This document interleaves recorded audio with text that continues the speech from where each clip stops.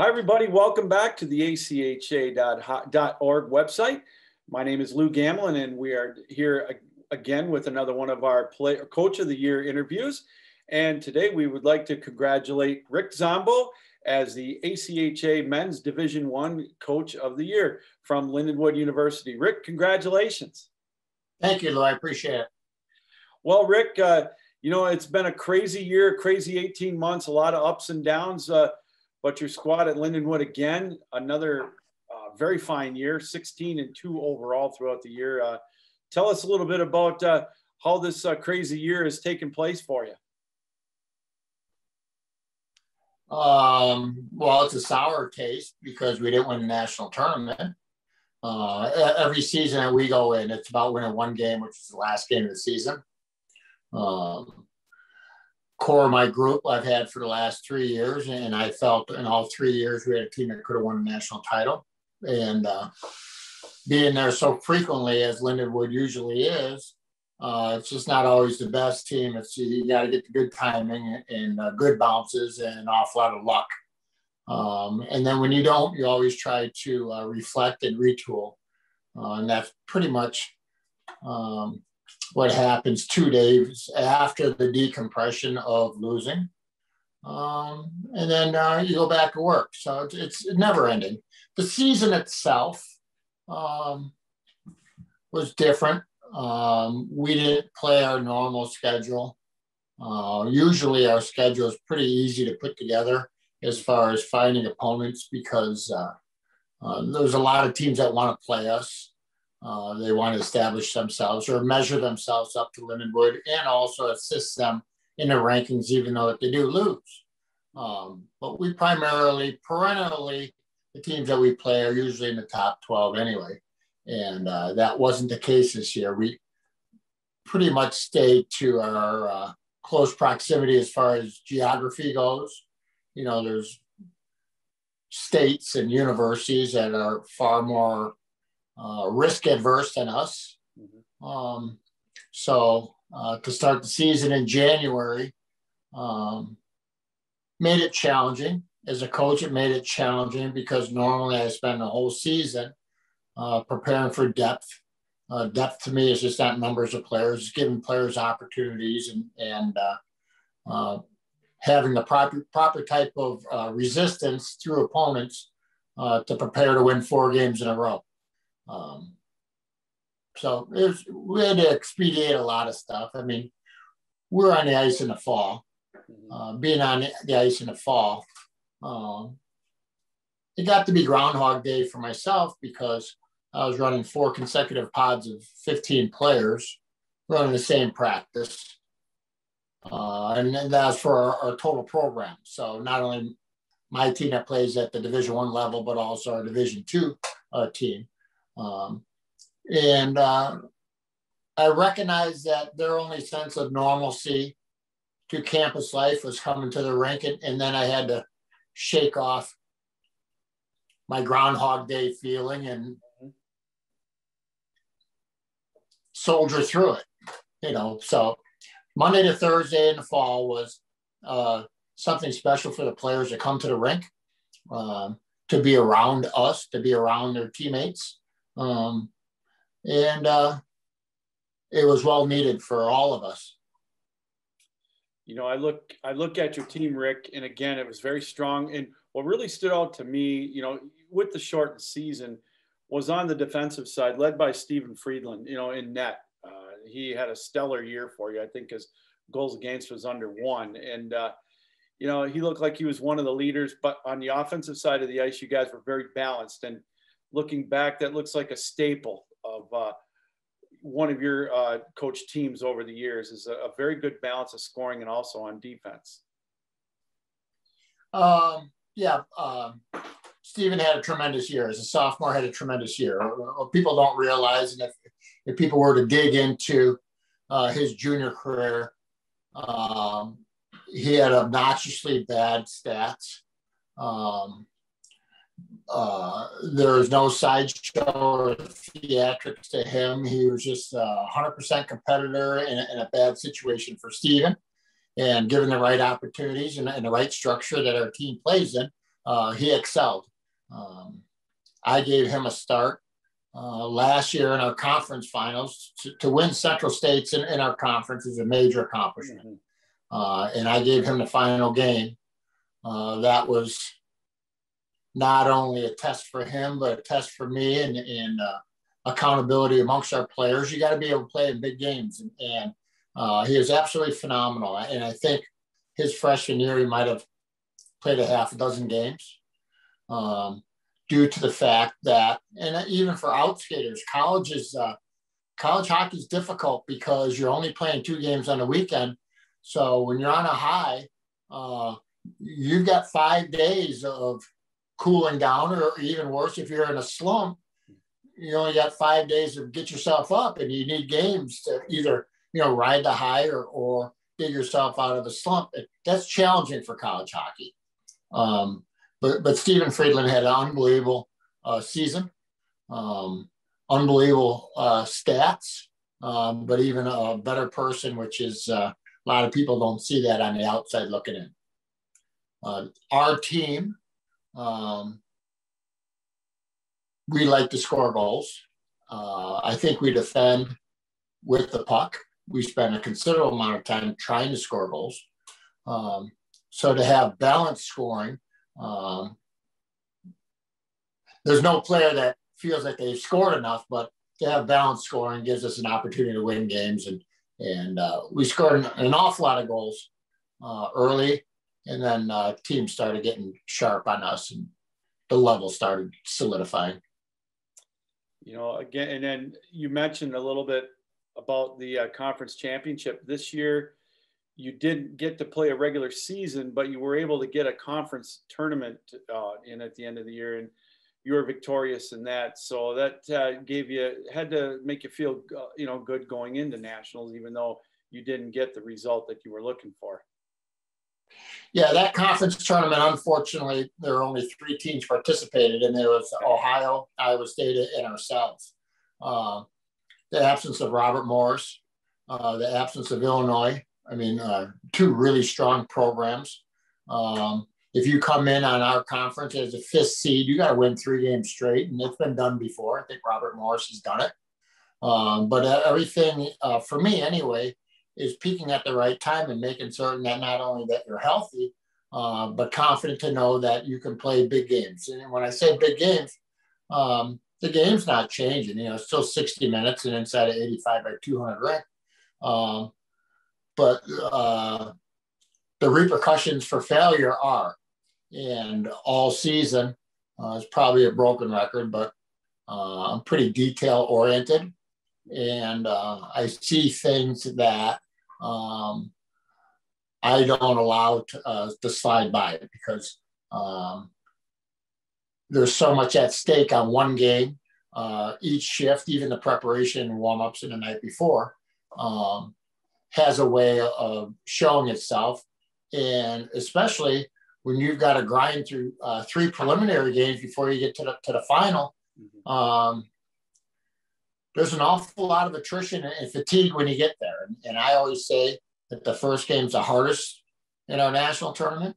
Mm-hmm. Um, by the time you get to, and we didn't, but you get to the final game, um, your energy level is probably on fumes, but you're you're so excited and so high that uh, it's robotic and you just play. But it's it's, it's the three games leading up. And, yeah. uh, the type of competition that you're playing is uh, it's a hard grind. Now, in that national tournament setting, Rick, is it does the defense tend to sharpen up a little bit in that? Is it, uh, or is it just like you said, you know, there's more at stake and maybe some of the kids think a little bit more, you know, than they do maybe during a regular season game and just makes it that much more difficult. Uh, how, how does that play into it?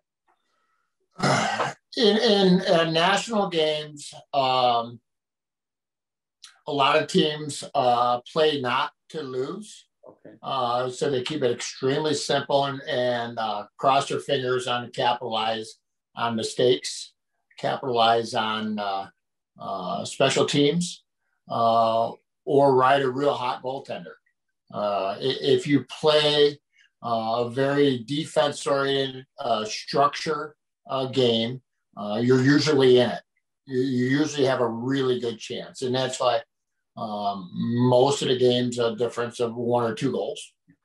Um, I, I don't think that was the case this year because um, the talent level is lopsided because 16 teams made it, and, and uh, maybe the bottom half uh, has not had the history of making it as they normally do. Um, so that's probably why you had a lot. You know, our opening game. Um,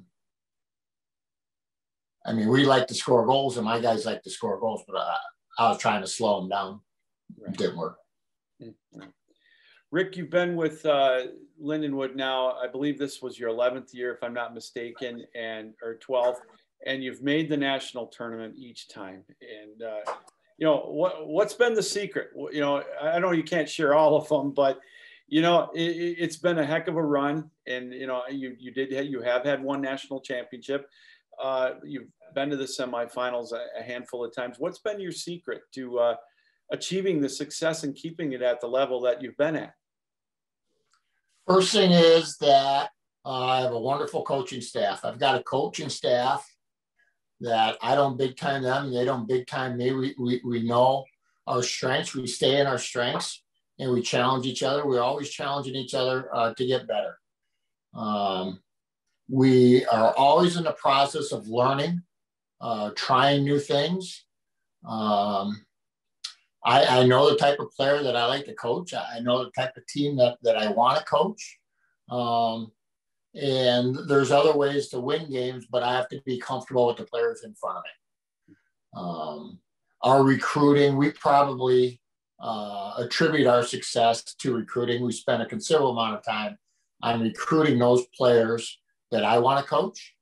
And uh, it's difficult because uh, to play for Lindenwood, it's it's really emphasized as we. So when you say our scoring is distributed, uh, there's no way I'm going to build a team around uh, one player. Uh, players that need supplemental help.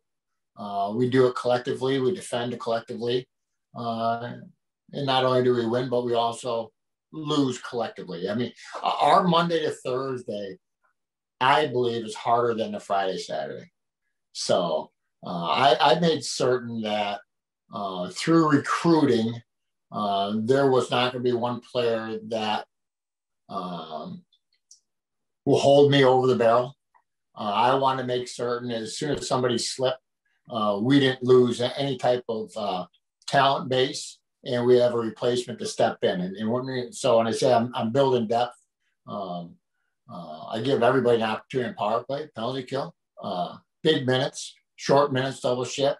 I want to see what they can handle. And, and uh, over a year, things kind of settle in. Like they know the rotation, they know who's up after a goal. That you know, they know uh, what we need to do, and uh, um, we always play our way. But um, there, there's uh, for me, uh, I've pre-scouted a couple weeks before our, our opponent, so through the practice structure, um, we work on concepts and tendencies and, and ice locale uh, for the next opponent. But if we don't play the way that we're structured and the way that we're built, uh, we're not going to play counterattack because you're always on your heels. So, but we know what we're doing. We know who we're playing. And you know, Rick, uh, you know, we've talked in the past, and you know the game has changed in regards to recruiting a little bit. I, you know, I know it's almost like a 12 month a year job for you now if you want to stay. For us, it is. For yeah, us, it is. For the good yeah. teams, the good programs, and yeah. you know the coaches that I talk to, they say as soon as that season's over, either that night or the next day, you're on the phone, or now you're on a Zoom call or whatever with a recruit. You know, there's there's no time off anymore, is there? No, there really isn't. You know, people on the outside world don't recognize that as coaches, we wish we had 25 hours in a day um, to actually watch game, um, depending on the age and the level, um, can be cumbersome. Uh, for me to watch junior games or youth hockey games during NHL playoffs, it's excruciating for me because uh, my sleep pattern is all screwed up because I try to watch every NHL playoff game. Yeah. Um, but I've got a staff that um, they know what I'm looking for. Uh, they're good at it. Um, and the, the, Zoom calls have actually really helped us in recruiting um, because we don't have the resources to get everywhere.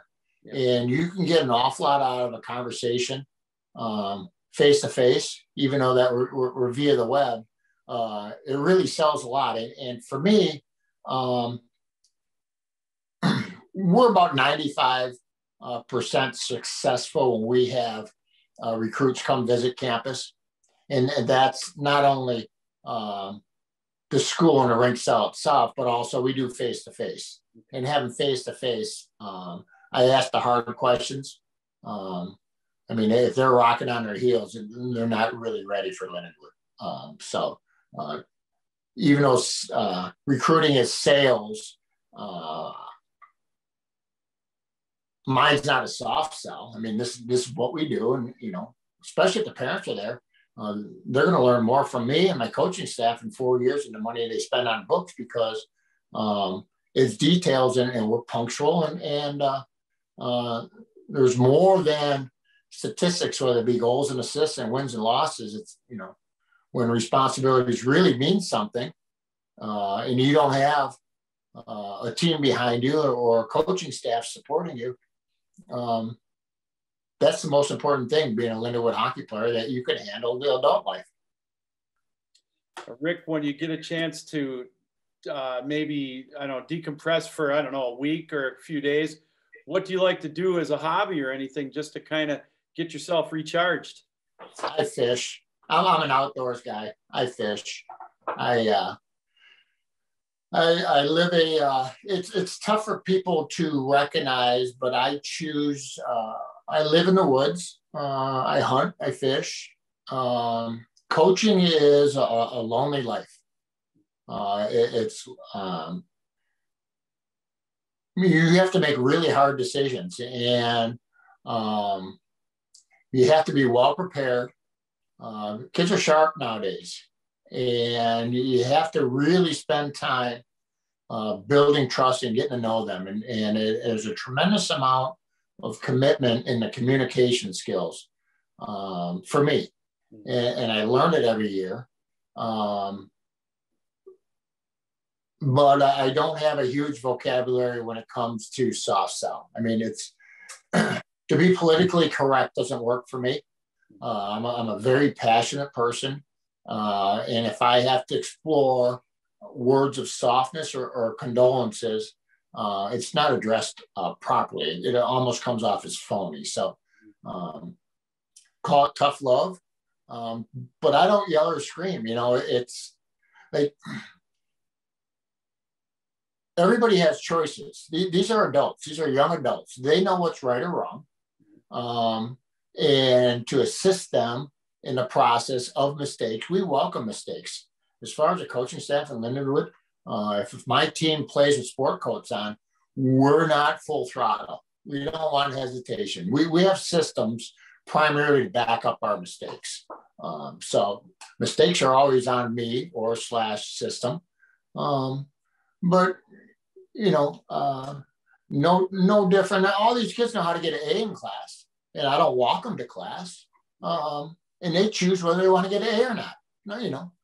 Um, we have a 3.0 grade point initiative that uh, we have imposed and have had imposed for a hockey program. Um, our guys do it. You go to class. You, that's why you go to school. You know, this is it's it's not cumbersome. I want I want kids that are abnormal. Okay, normalcy or average doesn't work for me. So we got a 3.0. I don't walk you, but you know what? Your whole team's in class. So, and you know, no different than a weight room. You're going to have those down days where fatigue is set in. You don't want to go to a weight room. That's why you have a lifting partner. That's why you. That's why you have a team. So uh, I don't have to police that.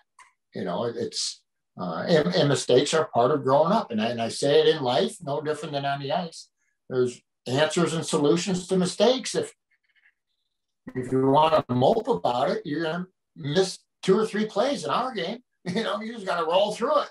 So it's it's a lot of life and and uh, tough love. It's um, every one of my players.